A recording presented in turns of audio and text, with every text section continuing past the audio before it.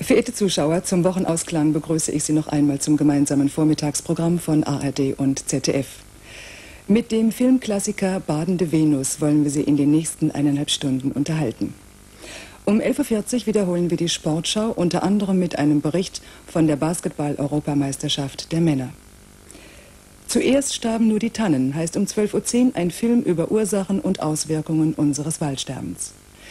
Zum Ende des Vormittagsprogramms gegen 13 Uhr die Presseschau und heute.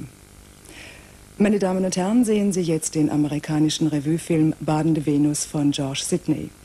Hollywoods berühmte Wassernixe Esther Williams und Komiker Red Skelton sind die Stars in dieser amüsanten Geschichte voller Verwechslungen und Missverständnisse.